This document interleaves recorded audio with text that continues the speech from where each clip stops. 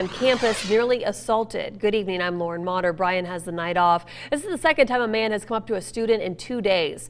Our Nicolette Perdomo joins us live from Wall Gates where this happened. Nicolette, what do we know? Lauren, Texas Tech police issued an alert to students tonight saying a woman was approached by a man in this parking lot.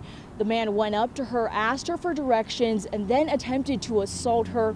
The woman thankfully was able to get to safety, but the man took off and headed towards the education building. Now, the man is described with a small build, about 140 pounds. He's six feet tall, with dark hair and eyes, facial hair, and long sideburns. He was wearing a baseball hat, black jeans, and possibly a hoodie. Early Sunday morning, Tech police say this man assaulted another student. They say he approached her on the south side of Coleman Residence Hall. The victim told police she was sexually assaulted outside on the west side of the hall. He's believed to be in his early 20s, about six feet tall, with long sideburns and a thin mustache. The clothes he was last seen in were a dark colored long sleeve top, light colored shorts, and tennis shorts. Now, Lauren, Texas Tech police are still investigating these two instances, and we still are not sure if these two instances are related or not. But as soon as we get any more information, we will keep you updated